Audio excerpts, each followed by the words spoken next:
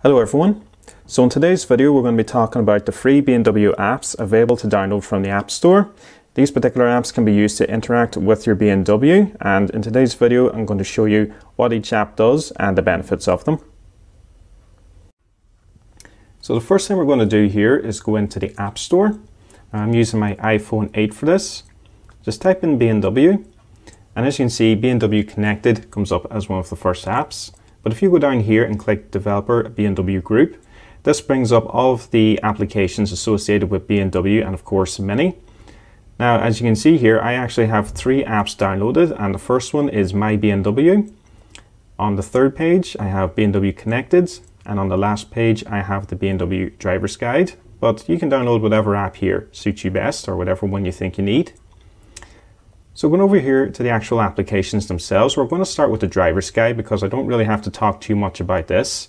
Now I should mention when you want to use these apps, you're going to have to first set up an account. Now it's very straightforward, but the one thing you're going to need is your vehicle's VIN number, which is located at the bottom left of the windscreen of your car. Now when you have to put in the VIN number, you're going to have a code sent to the actual car. Now you're going to need that code to verify the account. So you want to power on the car, go into the iDrive system and scroll over to connected drive. Once in there, you're going to type in that code and then that is the last part, I believe, of setting up your account. So it's just to verify the car and it connects the car then with your applications. So in this driver's guide, you got everything from the owner's handbook all the way down to PDF manuals. And if I actually click into how to, it brings you to the BMW YouTube channel where you find a playlist and it gives you all sorts of videos and helpful advice on how to operate certain aspects of the applications and tell you more about the car. Now if I click on the little magnifying glass here on the bottom right, you can find out anything you want about your car through pictures, text or smart scan. Now I'm going to go to the smart scan thing in just a moment because it's a pretty cool feature that I've never seen before. But you can also go to animations. If I click in here, It'll tell you things about the auto stop start, or sorry, auto start stop function, cruise control, dynamic stability control, park distance controllers, and so on. It's a very simple and easy application to use, and it's very easy to just search through. For example, I can type in, let's say, gearbox, and then I got two results here. Click into the automatic gearbox, and it just shortcuts you over here, and it tells you everything you could want to know about it. This here is very handy. It means that if you're sitting in your house and there's something about your car that you want to know, instead of having to go out to the car and read for the owner's manual, you can simply pull out your phone and look at it from here. But what I want to do now is show you the smart scan because this is a pretty cool nifty feature and it's very useful.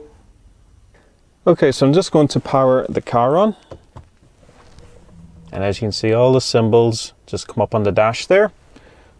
So just take the phone.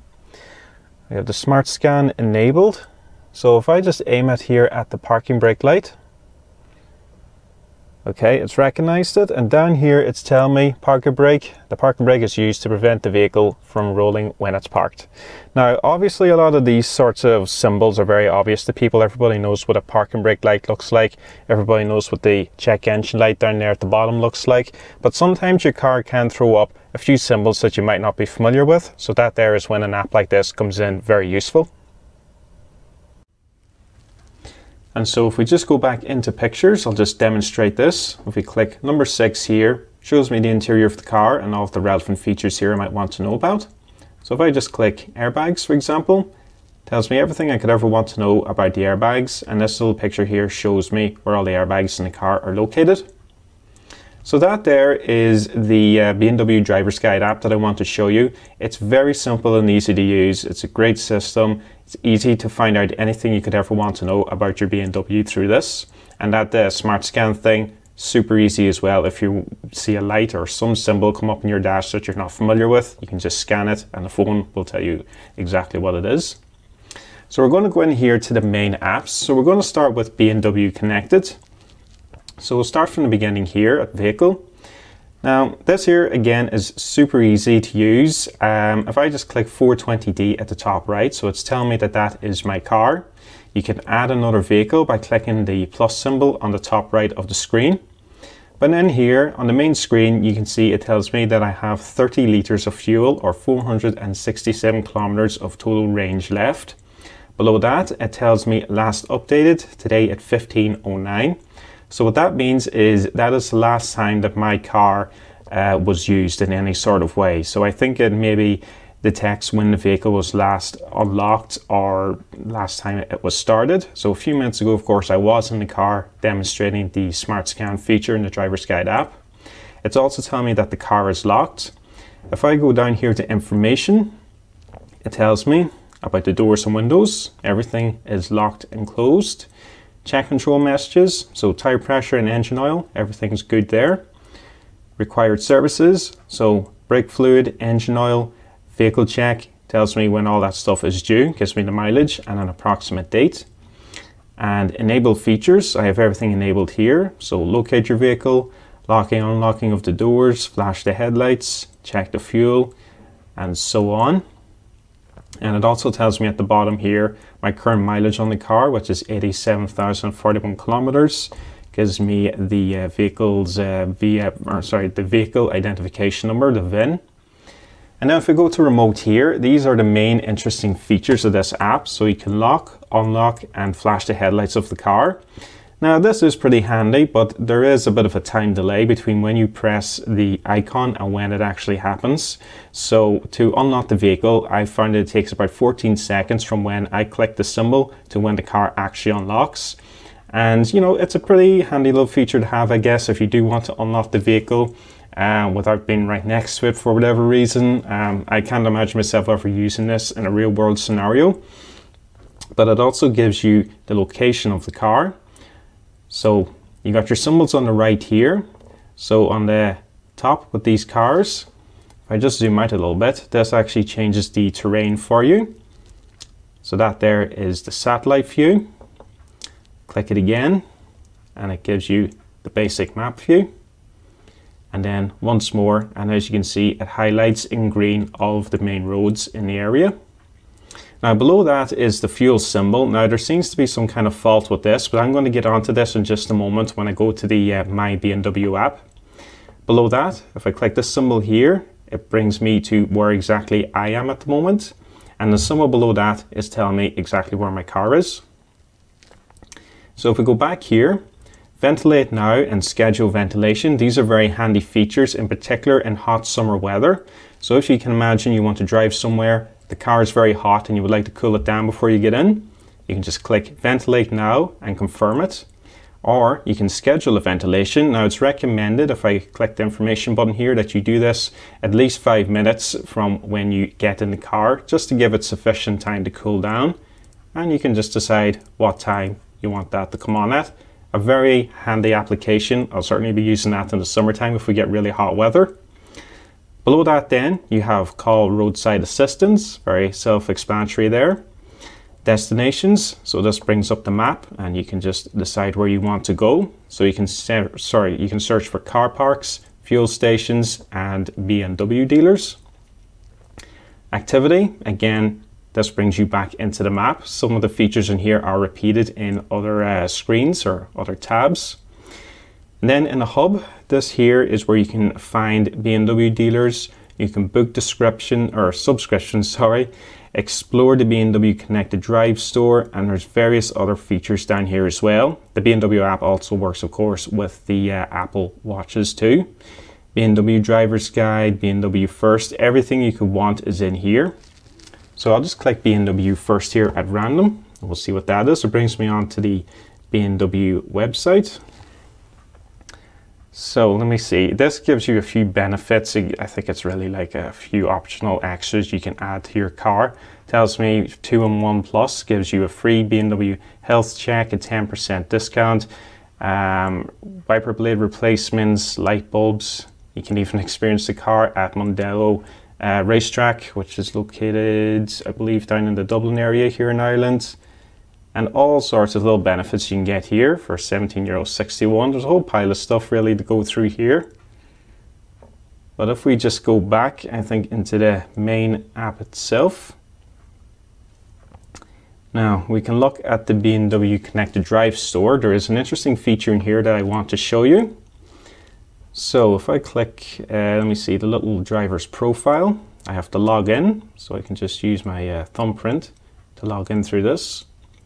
Now there's an interesting feature in here where you can actually send a notification from your phone to your car, which again, I'm going to demonstrate now.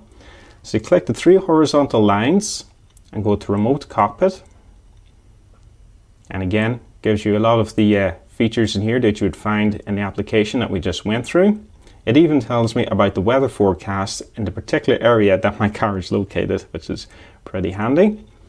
So you want to click into auxiliary heating and ventilation.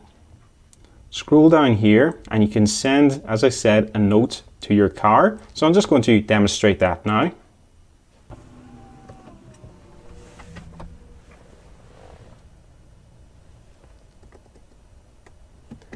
So just click into notifications and this is the note I sent to the car. BMW have been making cars since 1928 and it tells me what time it was sent at as well. And if I go back, unfortunately you can only read your notifications once, so you can't store it into the car's uh, hard drive or anything like that. You read it once and then it's gone. And then we just go into the more section A few basic features in here. You can go into your profile, you can look at your name and change it if you wish, reset your password, change your PIN number, and then you just have some other basic things here. In the settings, you can also adjust how much uh, battery has been used, so standard or lower battery usage, and a few other things there for you to play around with. So those really are the main features of the connected drive application. Now you're going to see a lot of these features over here in My BMW. So these two applications basically communicate with each other and they have a lot of the same features. So if I actually pull down on the screen here, it will refresh and it will update the status of my car. So as you can see, 1524 is when I was last in the vehicle, doing that last segment there, showing the notification in the car. And again, if you just click garage at the top right, you can add a vehicle and it's telling me the current mileage and the VIN number of my own 4 Series located just there. And if you go into remote history, tells me all the times I locked and unlocked the car or used any of these remote applications on it. I can delete them by clicking the bin on the top right of the screen and delete my history. Apparently there seems to be some sort of error with it at the moment. Yeah, typical that would show up when I'm doing a video, but you can delete your history from there. Dealer services, again, select your dealer and schedule a service all through the application and the connected drive store. Some basic information on my car, model 2017 420 diesel, VIN number, mileage, and the BMW driver's guide, which I was showing you at the beginning of the video. And you can also contact roadside assist from here and then we have the map again. So let's just say I want to look for BMW dealers. Click here and it gives you all the BMW dealers in the county or in the country even. And I have a list of them down here. Their exact locations, their error codes, everything you could want is located there. And now if we just clear that, you can go into your profile, change your profile picture. Again, you can go through all of your basic settings, frequently asked questions.